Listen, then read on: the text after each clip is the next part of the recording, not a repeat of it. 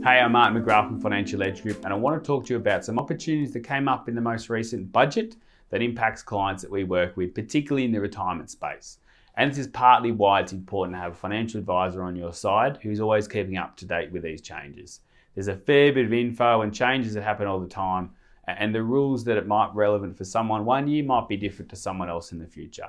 So there's two big things that we focus on in retirement that came out of the budget, which are going to create some great opportunities for our clients.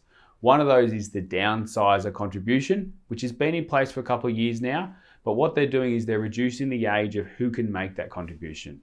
For since it came into an exception, it's always been you've got to be aged over 65 to make a downsizer contribution. But the rules that are changing on the 1st of July 2022 is that that age limit will drop to 60. So there's a lot more people that will fit into that space now where they'll be eligible to make a downsizer contribution.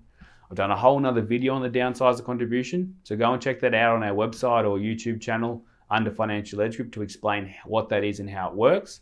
But there's a whole segment of market now that's going to open up that should definitely be looking at that downsizer contribution, which is important to check that out. The other big change, which is even more exciting, which I think we're going to do a lot of planning with our clients around, is the changes to the non-concessional age limit. Over the last few years, the age limit is that once you're at 65 and it moved to 67, that you can no longer make contributions into super unless you're working, meeting what's called a work test. They're increasing that limit all the way up to the age of 75. So what that means is if you're in your late 60s, early 70s, up to 75, you can still contribute an amount to super. Now, is that beneficial to do in your situation? It depends. Probably important to get some advice around that but it does create some opportunities where people can add more money into super, potentially save themselves some tax, pay less tax on the future, might help improve their pension situation. There's a whole bunch of strategies that come into play, uh, and definitely something that we're going to sit down with all our clients through and work through over the next few years.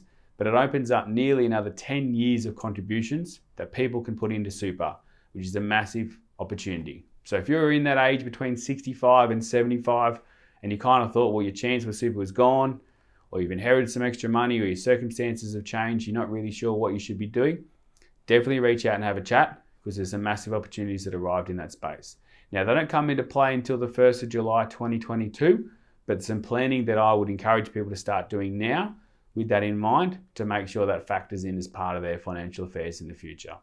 These things are always changing, so make sure you keep up to date, uh, but feel free to reach out with any questions at financialedgegroup.com.au.